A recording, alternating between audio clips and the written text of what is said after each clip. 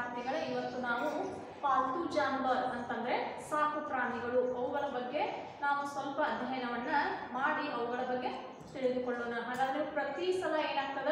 ಬರೀ ಪಾಠಗಳನ್ನ, ಅಭ್ಯಾಸವನ್ನ ಮಾಡ್ತಾ ಹೋಗ್ತಾ ಇದ್ದೀವಿ ಆದ್ರೆ ಈ ಸಾಕು ಪ್ರಾಣಿಗಳಿಗೆ ನಾವು ಹಿಂದಿ ಒಳಗೆ ಏನಂತೀವಿ ಆ ಸಾಕು ಪ್ರಾಣಿಗಳಿಂದ ಆಗ್ತಕ್ಕಂಥದ್ದು ಲಾಭಗಳು ಏನು? ಅವುಗಳನ್ನ ಯಾವ ಪ್ರಾಣಿಗಳಿಗೆ ನಾವು ಹಿಂದಿ ಒಳಗೆ ಏನಂತೀವಿ ಕನ್ನಡ ಕೇಳಿದ್ರೆ ತಕ್ಷಣ ಹೇಳ್ಬಿಡ್ತೀರಿ ಏನಂತಂದ ಕುರಿ ನಾಯಿ, ಬೆಕ್ಕು, ಕುದುರೆ, ಆಮೇಲೆ ಎಮ್ಮೆ, ಎತ್ತು ಇವುಗಳನ್ನ ಸಾಕ್ತೀವಿ. ನಾವು ಇವು ಸಾಕು ಪ್ರಾಣಿಗಳು ರೀ ಅಂತ ಹೇಳ್ತೇವೆ ಕನ್ನಡ ಒಳಗೆ ಕೇಳಿದ ತಕ್ಷಣ. ಆದ್ರೆ ಏನೇನು ನಾವು ಹಿಂದಿ ಒಳಗೆ ಏನಂತೀವಿ ಅನ್ನೋದನ್ನ ಈ ಒಂದು ಅವಧಿಯಲ್ಲಿ ಅಭ್ಯಾಸವನ್ನ ಮಾಡೋಣ. ಹಾಗಾದ್ರೆ ಪಾಲ್ತು ಜಾನುವರ್. ಪಾಲ್ತು ಜಾನುವಾರು ಅಂತಂದ್ರೆ ಸಾಕು ಪ್ರಾಣಿಗಳು. ಪಾಲ್ತು ಜಾನುವರ್. ಪಾಲ್ತು ಜಾನುವರ್ ಅಂತಂದ್ರೆ ಸಾಕು ಪ್ರಾಣಿಗಳು ಅಂತ ಹೇಳ್ತೇವೆ ನಾವು ಕನ್ನಡ ಒಳಗೆ ಸಾಕು ಪ್ರಾಣಿಗಳು ಹಾಗಾದ್ರೆ ನಾವು ಯಾವ್ಯಾವ ಪ್ರಾಣಿಗಳನ್ನ ಸಾಕ್ತೀವಿ ಅನ್ನೋದನ್ನ ಈ ಒಂದು ತರಗತಿಯಲ್ಲಿ ಈ ಒಂದು ಅವಧಿಯಲ್ಲಿ ಅಭ್ಯಾಸವನ್ನ ಪ್ರಾರಂಭ ಮಾಡಿವೆ ಹಾಗಾದ್ರೆ ಪ್ರಾಚೀನ ಕಾಲ से ही मनुष्य कुछ जानवरों को पालतू जानवर बनाकर रखते हुए आ रहे हैं ಅಂತಂದ್ರೆ ಇದರ ಕನ್ನಡ ಅರ್ಥ ಪ್ರಾಚೀನ ಕಾಲದಿಂದಲೂ ಮನುಷ್ಯ ಸಾಕು ಪ್ರಾಣಿಗಳನ್ನ ಸಾಕ್ತಾ ಬಂದಿದ್ದಾನೆ ಹಾಗಾದ್ರೆ यह जो भी पालतू जानवर है उनको मनुष्य अपने किसी न किसी उद्देश्य को पूर्ति के लिए पालता है सभी पालतू जानवरों का काम अलग अलग है जैसे कुछ जानवरों को दूध के लिए और कुछ एक जगह के दूसरे जगह जाने के लिए और घर की सुरक्षा के लिए जानवर पाले जाते हैं ಅಂತಂದ್ರೆ ಇದರ ಕನ್ನಡ ಅರ್ಥ ನಾವು ಪಾಲ್ತು ಜಾನುವಾರು ಸಾಕು ಪ್ರಾಣಿಗಳನ್ನ ಸಾಕ್ತೀವಿ ಹಾಗಾದ್ರೆ ಸಾಕು ಪ್ರಾಣಿಗಳಲ್ಲಿ ಕೆಲವೊಂದು ಮನುಷ್ಯರಿಗೆ ಉಪಯೋಗ ಆಗ್ತಕ್ಕಂಥ ಪ್ರಾಣಿಗಳು ಅವು ನಮಗ ಹಾಲನ್ನ ಕೊಡ್ತಿರಬಹುದು ಆ ಹಾಲಿನಿಂದ ನಮಗ ಆಗ್ತಕ್ಕಂಥ ಉಪಯೋಗಗಳು ನಿಮ್ಗೆಲ್ಲ ಗೊತ್ತೈತೆ ಹಾಗಾದ್ರೆ ಕೆಲವೊಂದು ಪ್ರಾಣಿಗಳ ಹಾಲನ್ನ ಕೊಡ್ತಾವೆ ಅದರಿಂದ ನಾವು ಹಾಲಿನ ಉತ್ಪನ್ನವನ್ನ ತಗೋತೀವಿ ಅದು ನಮಗೆ ಆಗ್ತಕ್ಕಂಥ ಒಂದು ಇನ್ನೊಂದು ಇನ್ನೊಂದು ಪ್ರಾಣಿಗಳನ್ನ ಸಾಕ್ತೀವಿ ನಾವು. ಅವು ಯಾವಂತಂದ್ರೆ, ಒಂದು ಜಗದಿಂದ ಇನ್ನೊಂದು ಜಗಕ್ಕೆ ಅಥವಾ ಒಂದು ಸ್ಥಳದಿಂದ ಮತ್ತೊಂದು ಸ್ಥಳಕ್ಕೆ ಹೋಗಬೇಕಾದ್ರೆ ಅಲ್ಲಿಯೂ ಕೂಡ ನಾವು ಸಾಕು ಪ್ರಾಣಿಗಳನ್ನ ಸಾಕ್ತೀವಿ.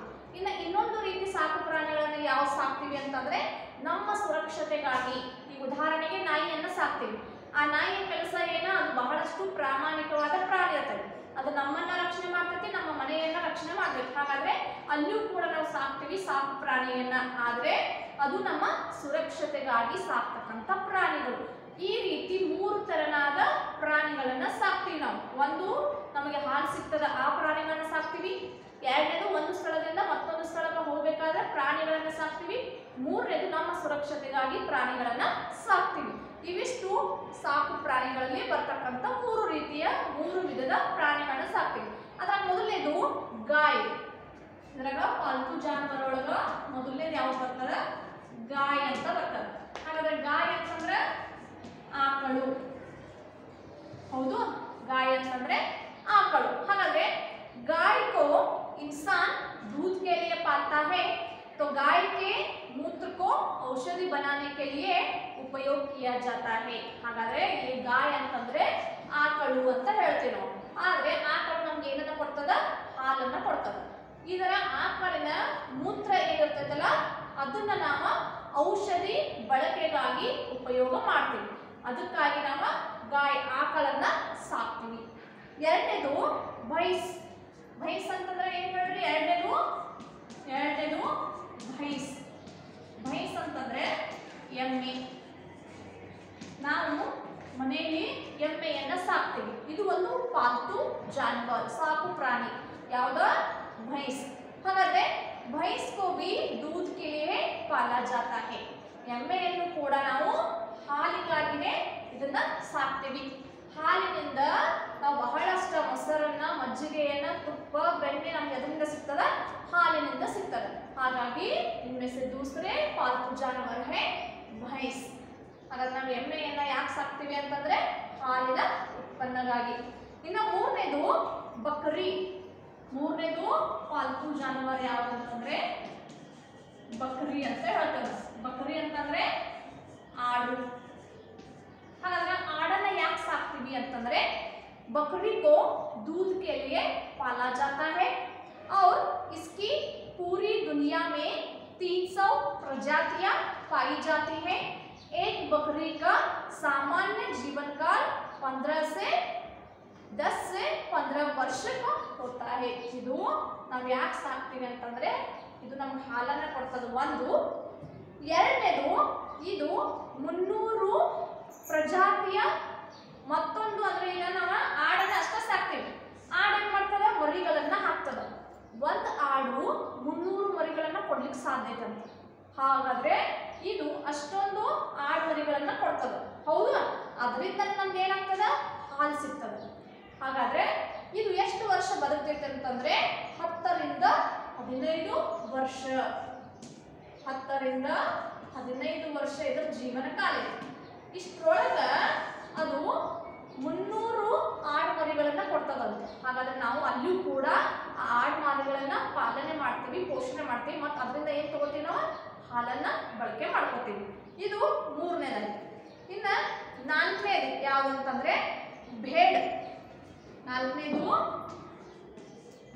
ಭೇಡ್ ಅಂತ ಹೇಳ್ತೀವಿ ನಾವು ಪಾಲ್ತು ಜಾನುವಾರೊಳಗ ಭೇಡ್ ಭೇಡ್ ಅಂತಂದ್ರೆ ಕುರಿ कुरियन साक्ती हूँ पालतू जानवर में नंबर चार का जो शब्द है भेड़ तो भेड़ शब्द का कन्नड़ अर्थ है कुरी हालांकि भेड़ को दूध और उनके लिए पाला जाता है ನಾವು ಕುರಿಯನ್ನ ಯಾಕೆ ಸಾಕ್ತೀವಿ ಅಂತಂದ್ರೆ ಇಲ್ಲಿಯೂ ಕೂಡ ನಮಗೆ ಕುರಿಯಿಂದ ಏನ್ ಸಿಗ್ತದ ಹಾಲು ಸಿಗ್ತದ ಇದಾದ ಕೂಡಲೇ ಬರ್ತಕ್ಕಂಥದ್ದು ಘೋಡ ನಂಬರ್ पाँच का जो पालतू जानवर है तो ये है घोड़ा ಘೋಡ ಅಂತಂದ್ರೆ ನಿಮ್ಗೆಲ್ಲರಿಗೂ ಗೊತ್ತೈತಿ ಕನ್ನಡ ಅರ್ಥ ಕುದುರೆ ಹಾಗಾದ್ರೆ ಕುದುರೆಯನ್ನ ಯಾಕೆ ಸಾಕ್ತೀವಿ ನಾವು ಪಾಲ್ತು ಜಾನುವಾರು ಅಂತ ಯಾಕೆ ಹೇಳ್ತೀವಿ ಅಂತಂದ್ರೆ घोड़ा इस जानवर को प्राचीनतम काल से ही कहीं जाने और आने के लिए उपयोग करते हैं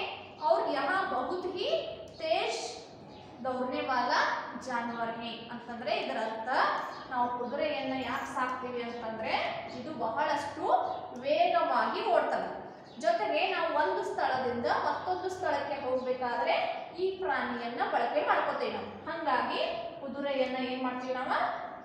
ಪಾಲ್ತು ಜಾನುವಾರು ಅಂತಂದ್ರೆ ಸಾಕು ಸಾಕು ಪ್ರಾಣಿಗಳಲ್ಲಿ ತೆಗೆದುಕೊಂಡಂತಹ ಮತ್ತೊಂದು ಪಾಲ್ತು ಜಾನುವಾರು ಯಾವ್ದಂತಂದ್ರೆ ಕುದುರೆ. ಹಾಗಾದ್ರೆ ಕುದುರೆ ಅದಕ್ಕೆ ಉಪಯೋಗ ನಾವು ಒಂದು ಸ್ಥಳದಿಂದ ಮತ್ತೊಂದು ಸ್ಥಳಕ್ಕೆ ಹೋಗ್ಬೇಕಾದ್ರೆ ಈ ಪ್ರಾಣಿಯನ್ನ ಬಳಕೆ ಮಾಡ್ಕೋತೀವಿ. ಇದರ ವೇಗವಾದ ಓಟ ಇರ್ತದೆ. ಇದು ಕುದುರೆಯ ಪಾಲ್ತು ಜಾನುವಾರು ಅಂತ ಹೇಳ್ತೀವಿ ಇದಾದ ನಂತರ ಬರ್ತಕ್ಕಂಥದ್ದು ಆರನೇ ನಂಬರ್ ಗದಾ ಗದಾ ಅಂತಂದ್ರೆ ನಿಮ್ಗೆಲ್ಲರಿಗೂ ಗೊತ್ತೈತೆ ಗದಾ ಅಂತಂದ್ರೆ ಕತ್ತೆ ಅಂತ ಹೇಳ್ತೀವಿ ನಾವು ಆದ್ರೂ ಕೂಡ ಈ ಪ್ರಾಣಿಯಿಂದ ನಮಗೆ ಬಹಳಷ್ಟು ಉಪಯೋಗ ಐತಿ ಹಾಗಾದ್ರೆ ಯಾವಂತಂದ್ರೆ ಇಲ್ಲಿ गधा यह जानवर बहुत ही मेहनती होता है और इसको कहीं आने जाने के लिए और भारी सामान ढोने के लिए उपयोग किया जाता है ಅಂತಂದ್ರೆ ನಾವಿಲ್ಲಿ ಗದ ಕತ್ತೆಯನ್ನ ಯಾಕೆ ಸಾಕ್ತೀವಿ ಅಂತಂದ್ರೆ ಇದು ಬಹಳಷ್ಟು ಪರಿಶ್ರಮವನ್ನ ಪಡ್ತಕ್ಕಂತಹ ಪ್ರಾಣಿ ಹಾಗಾದ್ರೆ ಪರಿಶ್ರಮ ಹೆಂಗ್ ಪಡ್ತದ ಈಗ ನಾವು ಒಂದು ಸ್ಥಳದಿಂದ ಮತ್ತೊಂದು ಸ್ಥಳಕ್ಕೆ ವಸ್ತುಗಳನ್ನ, ಸಾಮಾನುಗಳನ್ನ ತೆಗೆದುಕೊಂಡು ಹೋಗಬೇಕಾದ್ರೆ ನಾವು ಈ ಪ್ರಾಣಿಯನ್ನ ಉಪಯೋಗ ಮಾಡ್ತೀವಿ. ಅದಕ್ಕಾಗಿ ಈ ಪ್ರಾಣಿಯನ್ನ ನಾವು ಪಾಲ್ತು ಜಾನುವರ್ ಅಂತ ಹೇಳ್ತೀವಿ. ಹಾಗಾದ್ರೆ ಮುಂದಿನ ಊಂಟ್ ನಂಬರ್ ಸಾತ್. ಊಂಟ್ ಊಂಟ್ ಅಂತ ಕನ್ನಡ ಅಂತ ಒಂಟೆ. ಹಾಗಾದ್ರೆ ಒಂಟೆ ನಮ್ಗೆ ಯಾಕೆ ಬೇಕು? ಸಾಕ್ತೀವಿ, ಯಾಕೆ ಸಾಕ್ತೀವಿ ನಾವು? जानवर इंसान के लिए बहुत उपयोगी पशु है इस जानवर का सामान्य जीवन काल 50 वर्षों का होता है और इसको रेगिस्तान का जहाज भी कहा जाता है ಈ ಒಂದು ಪ್ರಾಣಿ ಐವತ್ತು ವರ್ಷಗಳವರೆಗೆ ಬದುಕ್ತದೆ ಹಾಗಾದ್ರೆ ರೇಗಿಸ್ತಾನ್ ಅಂತಕ್ಕಂತಹ ಒಂದು ಪ್ರದೇಶದಲ್ಲಿ ಇದನ್ನ ಹಡಗನ್ನಾಗಿ ಬಳಕೆ ಮಾಡ್ಕೊತಾರೆ ಹಡಗಂತಂದ್ರೆ ಇದ್ರ ಮೇಲೆ ಸಾಮಾನುಗಳನ್ನ ಹೇಳ್ತಾರೆ. ಹಾಗಾದ್ರೆ ಇದರ ಜೀವನ ಕಾಲ ಎಷ್ಟು ವರ್ಷ ಬದುಕಬೇಕಂತಂದ್ರ ಐವತ್ತು ವರ್ಷಗಳ ಕಾಲ ಬದುಕ್ತದ. ಅದಕ್ಕಾಗಿ ನಾವು ಉಂಟು ಒಂಟೆಯನ್ನ ಸಾಕ್ತೀವಿ. ಇನ್ನ, ಇನ್ನು ಒಂದು ಕುತ್ತ ನಾಯಿಯನ್ನ ಸಾಕ್ತೀವಿ ನಾವು. ಹೌದಾ? ಇದನ್ನ ಯಾಕೆ ಸಾಕ್ತೀವಿ? ಕನ್ನಡ ಅರ್ಥ ನಿಮಗೆ ಗೊತ್ತದ ನಾಯಿಯನ್ನ ಯಾಕೆ ಸಾಕ್ತೀವಿ ಅಂತಂದ್ರೆ कुत्ता यहाँ बहुत ही वफादार होता है और घर के रखवाली भी करते हैं और इस जानवर की सूंघने की क्षमता इंसान से दस हजार गुण ज्यादा होती है ಅಂತಂದ್ರೆ ಈ ಪ್ರಾಣಿಯನ್ನ ಯಾಕೆ ಸಾಕ್ತೀವಿ ಅಂತಂದ್ರೆ ಇದು ಬಹಳಷ್ಟು ಪ್ರಾಮಾಣಿಕವಾದ ಪ್ರಾಣಿ ಇದೆ ಜೊತೆಗೆ ಇದು ನಮ್ಮ ಮನೆಯನ್ನ ರಕ್ಷಣೆ ಮಾಡ್ತದೆ ಮತ್ತು ಇದಕ್ಕೆ ವಾಸನೆಯನ್ನ ಕಂಡು ಹಿಡಿಯುವ ಶಕ್ತಿ ಇದೆ ಮತ್ತೆ ಮನುಷ್ಯನಕ್ಕಿಂತಲೂ ಹತ್ತು ಸಾವಿರ ಪಟ್ಟ ಬಹಳಷ್ಟು ಅಂತಂದ್ರೆ ಮನುಷ್ಯನಿಗಿಂತಲೂ ಹೆಚ್ಚಿಗೆ. ಹತ್ತು ಸಾವಿರ ಪಟ್ಟ ಅದು ವಾಸನೆಯನ್ನ ಕಂಡು ಹಿಡಿಯುವ ಶಕ್ತಿಯನ್ನ ನಾಯಿ ಹೊಂದಿದೆ. ಅದಕ್ಕಾಗಿ ನಾವು ಪಾಲ್ತು ಜಾನುವಾರು ಸಾಕ್ತೀವಿ. ಈ ಪ್ರಾಣಿಯನ್ನ ಅದಕ್ಕಾಗಿ ನಾವು ಇವತ್ತು ಏನ್ ಮಾಡಿದ್ವು? ಪಾಲ್ತು ಜಾನುವಾರು, ಸಾಕು ಪ್ರಾಣಿಗಳನ್ನ ಒಂದೇನು ಗಾಯ್, ಆಕಳು ಭೈಸ್ ಎಮ್ಮೆ, ಬಕರಿ, ಆಡು ಕುರಿ ಘೋಡ ಕುದುರೆ, ಗದ, ಕತ್ತೆ, ಊಂಟ್, ಒಂಟೆ, ಕುತ್ತ, ನಾಯಿ. ಇವು ಸಾಕು ಪ್ರಾಣಿಗಳನ್ನಾಗಿ ನೋಡಿದ್ವು.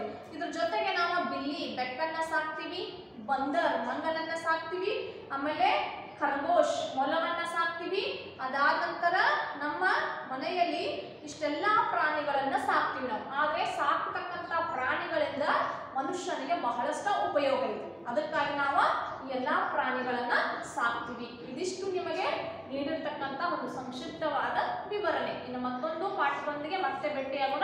ಧನ್ಯವಾದಗಳು.